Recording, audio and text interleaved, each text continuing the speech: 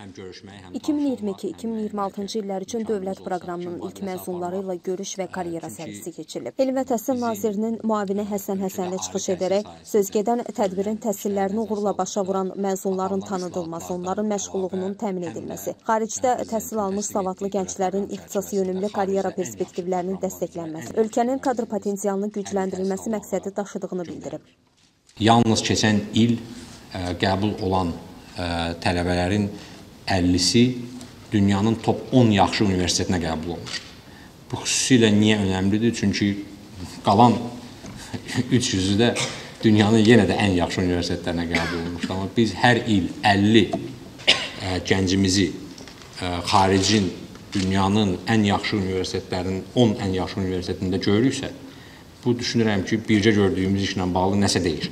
Dövlət Neft Fondunun icraçı direktorunun müavini Rövşən Cavadov çıxış edərək məzunları təbrik edib. Dövlət Proqramı İdarəetmə Qrupunun rəhbəri Turan Topalov isə hesabat xarakterli çıxış edib. Həmçinin tədbirdə məzunlar üçün xarici dövlətlərin ali təhsil sahəsində ixtisaslarının tanınması və ekvivalentliyinin müəyyən edilməsi qaydaları, dövlət proqramı məzunlarının dövlət qulluğuna müraciət etmək qaydaları və müasir dövrün dəyişən əmək bazarında xaricdə təhsilin rolu əmək bazarına çıxış üçün nə tələb olunur mövzularında maarifləndirici çıxışlar baş tutub. 2022 2026-cı illər üzrə gənclərin xarici ali təhsil müəssisələrində təhsil almalarına dair dövlət proqramı çərçivəsində ilk məzunlar artıq müəyyən olunmuşdur.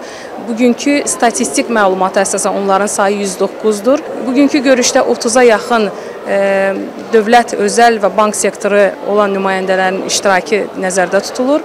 Hesab edirik ki, bu görüş bizim məzunlarımız üçün onların məşğulluğun təmin olunması istiqamətində ilk görüş olmayacaq, silsilə tədbirlərin həyata keçirilməsi nəzərdə tutulur. Böyük Britaniyanın Strathclyde Glasgow Universitetində təhsil tədqiqatları sahəsi üzrə dövlət proqramı vasitəsilə təhsil almışam. Təhsilimi bitirib hal-hazırda ölkəyə qayıtmışam və hal-hazırda öz sahəm üzrə, yəni təhsil layihələrinin idarə olunması üzrə baş mütəxəssis olaraq çalışıram.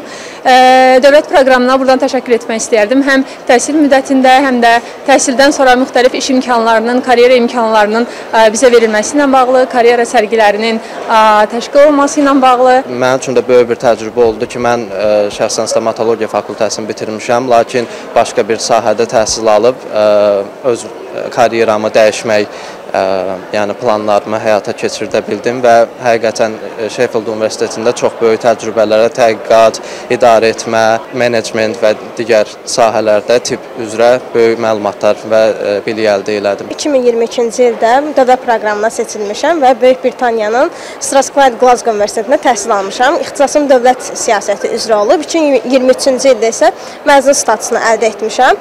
E, demək olar ki, məzun statusundan dərhal sonra İqtisadiyyat Nazirliyində işə başlamışam başlamışam və bu gün düşünürəm ki, iş həyatımda tətbiq elədiyim bir çox bilik və bacarıqlar məhz UK-də öyrəndiyim ə, məlumatlara, orada əldə etdiyim dərin biliklərə əsaslanır.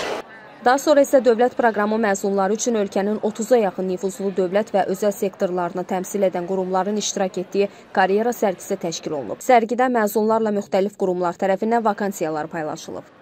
Hal-hazırda Dövlət İmtahan Mərkəzi olaraq biz də karyera sərgisində iştirak edirik.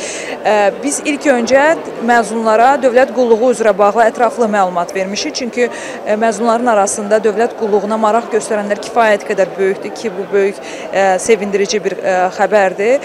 Eyni zamanda dövlət qulluğu ilə yanaşı dövlət qulluğu müsahibəsini tələb etməyən ixtisaslar üzrə də müəyyən e, imtahanlar barəsində də məlumatlar verilib. Həmçinin Dövlət İmtahan Mərkəzi olaraq biz özümüz müəyyən mövcud vakansiyalarımızla çıxış eləmişik və hal-hazırda bizə də müraciətlər daxil olur, CV-ləri alırıq.